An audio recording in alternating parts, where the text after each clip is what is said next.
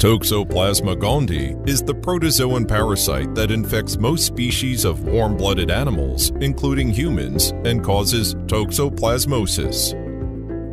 Besides pregnant women and infants, AIDS patients and organ transplant recipients are also vulnerable to this virus. The most common manifestations of congenital toxoplasmosis include chorioretinitis, hydrocephalus, and intracranial calcifications. Some babies with congenital toxoplasmosis may exhibit multiple purple-blue marks in the skin. The diagnosis of toxoplasma infection can be divided into prenatal diagnosis and postnatal diagnosis. Prenatal diagnosis is based on ultrasonographic signs of a congenital infection and then confirmed by PCR testing of the amniotic fluid.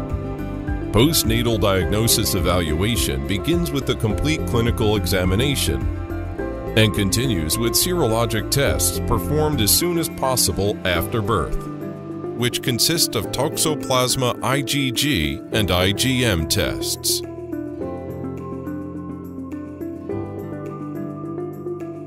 Actually, besides after birth, it is important that pregnant women take serologic tests in every phase, from pre-pregnancy to giving birth.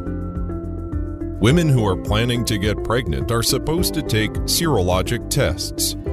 Those diagnosed with an acute Toxoplasma gondii infection should be counseled to wait before attempting to become pregnant. If a woman has a negative maternal serology during pregnancy, she must be informed of measures to prevent Toxoplasma gondii infection and the sequential serological follow-up. Toxo IgM and IgG test results can be used to indicate the gestational age at the time of maternal infection and further estimate the risk and severity of fetal damage.